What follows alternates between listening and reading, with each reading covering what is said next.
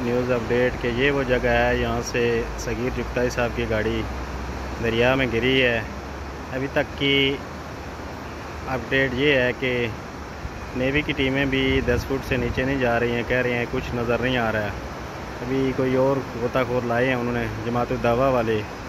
तो वो अभी ट्राई कर रहे हैं, वो सुर्ख साहब से नज़र आ रहा होगा, कश्ती सी जो यहाँ पे ये आपको बंदे नज़र आ रहे हैं, यहाँ से नीचे गई है गाड़ी। तो सब लोग दुआ करें, जल्द अज जल्द उनकी गाड़ी मिल जाए।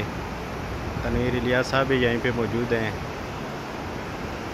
बहुत बड़ी तादाद में लोग रावला कोट से, पिंडी से, इस्लामाबाद से यहाँ तशरीफ़ लाए हैं। गर्मी भी बहुत तेज़ है। आज आज़ाद पतन के मुकाम पे तशरीफ़ लाया।